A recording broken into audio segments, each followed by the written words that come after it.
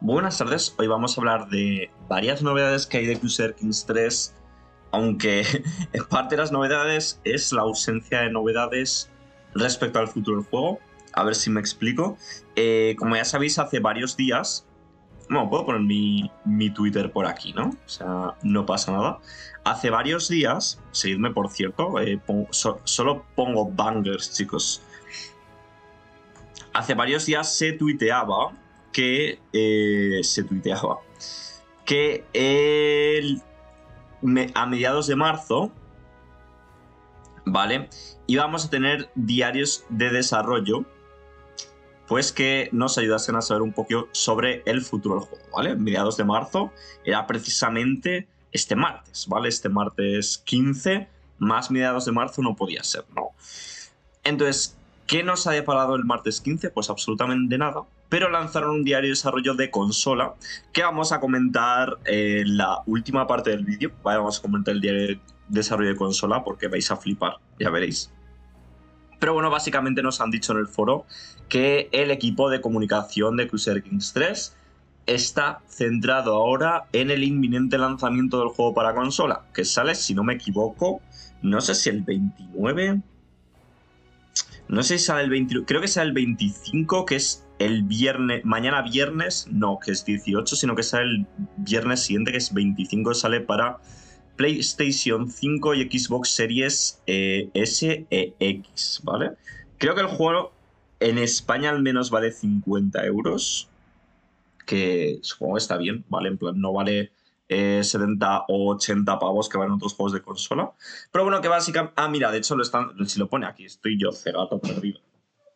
Vale, dice, eh, estas semanas hasta que lancemos el juego en consola van a estar dedicadas a consolas en cuanto a días de desarrollo, ¿vale? O sea que mínimo, mínimo, mínimo, hasta el martes 5 de abril, es decir, hasta dentro de tres semanas, no va a haber novedades de ningún tipo de Crusader Kings 3, ¿vale?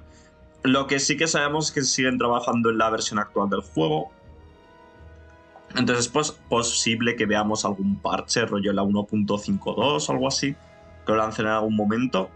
Pero si lo que tenéis curiosidad es saber en qué va a consistir el parche 1.6, en qué va a consistir el próximo DLC y este tipo de cosas, pues por desgracia hasta abril, como digo, es muy posible que no nos cuenten... Bueno, yo daría ya por sentado que no nos van a contar nada hasta hasta abril, ¿vale?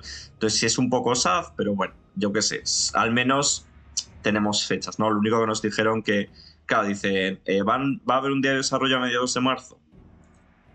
Y el diario de desarrollo es que es de el juego, pero para consola, y nos dicen que los diarios de desarrollo hasta abril nada, pues, pues bueno, yo qué sé, chicos. También se anunció ayer que Crusader Kings 3 ha vendido 2 millones de copias se celebra. A ver, la verdad, yo esto lo he dicho mucho, ¿vale? Eh, esto lo he dicho mucho y sé que algunos, pues, el nivel de indignación eh, varía según la persona y todo esto. Yo insisto, ¿vale? El juego de salida, Crusader Kings 3 en sí como producto, me parece el mejor juego que ha lanzado Paradox de lanzamiento, ¿vale? Es decir, comparado con EU4 de lanzamiento, CK2 de lanzamiento, Imperator Rome de lanzamiento, Joy 4 de lanzamiento, todo esto, Crusader Kings 3 me parece sin duda alguna el juego más sólido de Paradox de lanzamiento. A nivel de contenido, a nivel de interfaz, de gráficos, de, de todo, ¿vale? O sea, el juego me parece una burrada de lo que es de lanzamiento. Obviamente, tened en cuenta que todos aquellos que ya jugaban CK2 o que son eh, gente con, bueno, iba a decir una burla, pero que es gente ya muy veterana de los juegos de Paradox, pues obviamente a muchos de nosotros nos sabe a poco el juego, ¿vale? Pues porque eh, no tiene muchas mecánicas, le falta contenido, etcétera, etcétera, lo que sea, ¿no? Aún así, bueno, hay muchos mods, o sea que hay cosas que hacer con el juego, pero es como en plan, eh, obviamente a los veteranos pues nos falta un poquito más, pero yo me alegro de que el juego venda, y me alegro de que eh, Paradox también esté llegando a un, esté expandiéndose al nuevo público. Creo que los últimos datos que teníamos del mayor superventas de Paradox era Stellaris. Eh, no sé cuánto había vendido Stellaris, pero bastante. Aparte había sido para consola también. Y aparte Crusader Kings 3 va a llegar a consola también en un par de semanas, ¿no? Entonces, eh, por ese lado bien, ¿vale? Obviamente esto no deja... O sea, celebrar esto no implica que debamos estar contentos con el estado del juego ahora mismo, no implica que Crusader Kings 3 eh, Royal Court haya sido una decepción para mucha gente o esté teniendo muchos problemas, ¿vale? Una cosa no quita la otra. ¿vale? No me malinterpretéis porque estoy viendo al típico en los comentarios diciendo eh, el juego está vacío. El juego está vacío. Que sí, ya sé que está vacío. Yo soy el primero que quiere saber qué van a hacer en el futuro con el juego. ¿Vale? Y que llevamos cerca de dos años y el juego sigue prácticamente igual. Yo soy el primero que lo piensa, ¿vale? Pero bueno, una cosa no quita la otra, como digo. Y aparte han anunciado esto es un poco loco, ¿vale? Pero yo creo que hay explicación. Ha anunciado que eh, Royal Core también ha vendido un millón desde que se lanzó en marzo.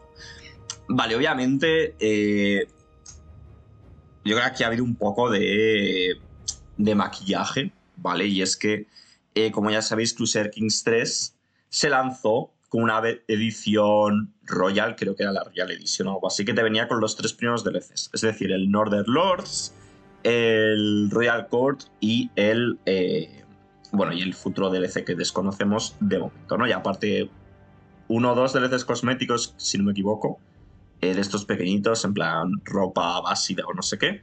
Pero bueno, la idea de esto, sobre todo, lo que quiero destacar, es que obviamente yo creo que parte de estas ventas pues vendrán de esa edición real, pues que mucha gente se la debió comprar de lanzamiento o lo que sea. A lo que quiero ir también un poco es que no nos han dicho, por ejemplo, que Northern Lords haya vendido un millón. Que yo creo que si Northern Lords llega a vender un millón lo habrían dicho, ¿no? Entonces yo entiendo también que eh, mucha gente ha... O sea, yo creo que hay una muy...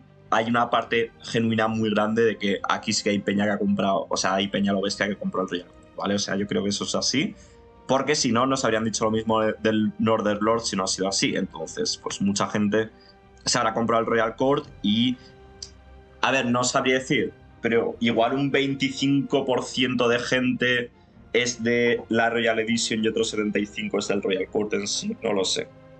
Pero bueno, esto ya es terreno de especulación, etc. En general, yo, esto es así, yo estoy contento que el juego le esté yendo bien y de que esté eh, funcionando, creo que es algo positivo, ¿vale? Porque...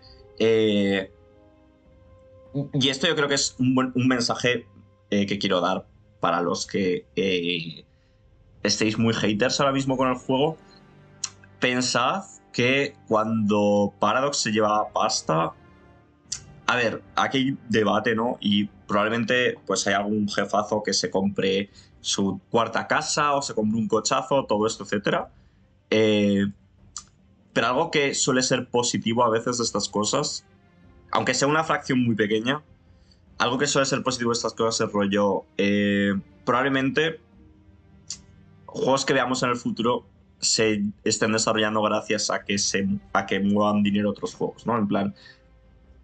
Todos sabemos que gracias a Europa Universalis 4, gracias a Hoi 4, que, hayan funcionado también y Stellaris, ¿no?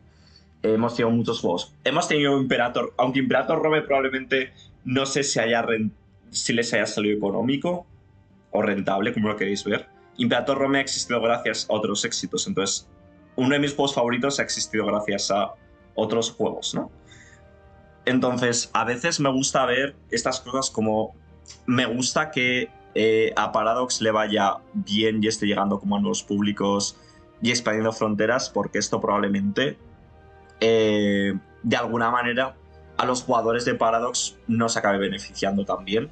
Como ojo, como clientes que están dispuestos a consumir productos en el futuro. Es decir, que se acaba saliendo un Sengoku 2, se acaba saliendo un East vs. West, etcétera, ¿no? Pero bueno, esto ya también es un poco terreno de especulación y tal. Como digo, me parece bien que el juego venda.